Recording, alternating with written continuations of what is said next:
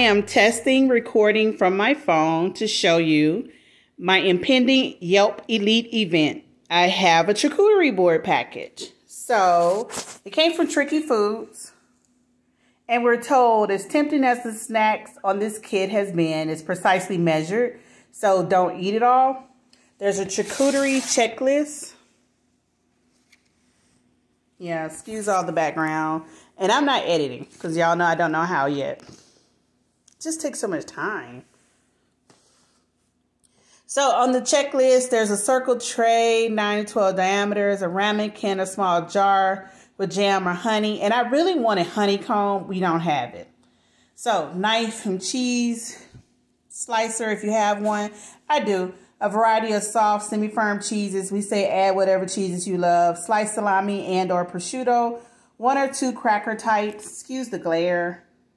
If I pause it though, YouTube won't allow me to just start back up. And again, this is not edited. This is completely unedited. Pickles and olives, dried fruit, fresh fruit, nuts or trail mix, something involving chocolate, someone, hopefully you, who is hungry and ready to eat the final results. So this is not an advertisement for the company, more of a, this is what I'm going to experience tonight at 6 p.m. Central Time. We're going to do a charcuterie learning style lesson via Zoom inside the bag. Yeah, and I also have um, a shipment of shoes in the back. All right, so there's some rosemary. Um, there's some soft cheese. It's not a brie, is it?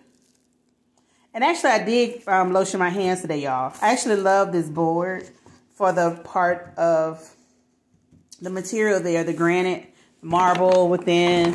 All right, some fresh grapes.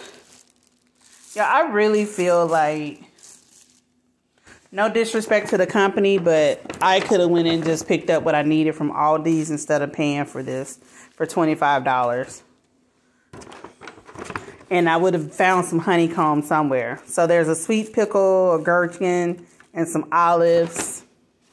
And also the reason why is I know as much as I dine out, I don't like the idea of dining people touching my food.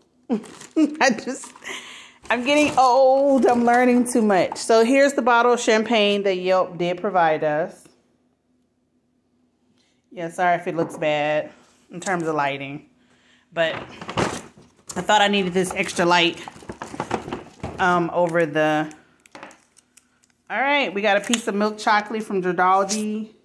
Some honey, but no honeycomb. Ooh, let's hope I can find my honey um, dispenser the little stick with the weeds in the circle. Some pistachios, very little. Lord help me. A small orange, like a cutie. Some dried fruit, looks like apricots and dates. I don't know. Can y'all tell? And, oh, they gave us the honey dispenser, so I don't have to find my own. Yay! look, I'm excited about the wrong things, right? Oh, the the words in I guess love or something spelled out with cheese. At any rate, I'm turning the camera. Hope you get a live shot of it. I will update this later tonight so y'all can see how I really look.